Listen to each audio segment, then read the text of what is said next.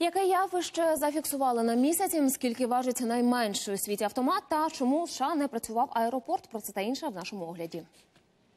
Над Ла-Маншем продовжуються пошуки зниклого літака, на борту якого перебував футболіст англійського клубу Кардів Сіті Еміліано Сала. Повітряне судно зникло напередодні. Востаннє на радарах його бачили на відстані 30 кілометрів від Британських островів. До пошуків долучилися служби екстреної допомоги Нормандських островів, проте знайти хоча б уламки літака досі не вдалося.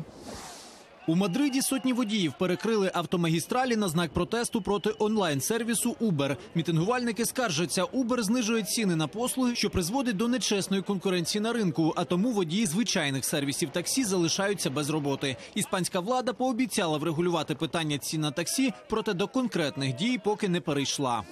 Надшвидкісний потяг Hyperloop запустять у комерційне використання вже у 2022 році. Про це заявив генеральний директор компанії Дірк Алборн в інтерв'ю телеканалу CNBC. Він також натякнув, що охочі можуть взяти участь у тестах новітнього поїзда вже до кінця року. Однак для цього мають підписати відповідну угоду з відмовою від претензій. Насамперед гіперпетлю протестують на території Об'єднаних Арабських Еміратів.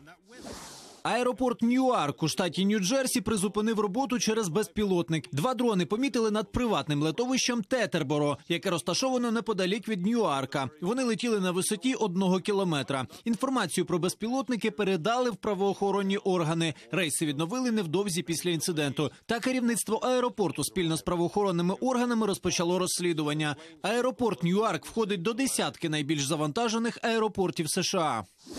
Найменший у світі автомат представила німецька компанія з виробництва зброї. MPX Copperhead важить усього 2 кілограма, а його довжина не перевищує 37 сантиметрів. Автомат представлений у двох варіантах для військового та цивільного використання. У продаж він надійде вже найближчим часом. Надпотужні телескопи зафіксували падіння метеориту на місяць. Надзвичайне явище побачили і деякі люди, коли спостерігали за місячним затемненням. Метеорит впав у західній частині видимої частини супутника в районі кратера Бюргі. Спеціалісти відзначили, падіння небесних тіл на місяць не рідкість, проте побачити таке явище пощастило лише напередодні.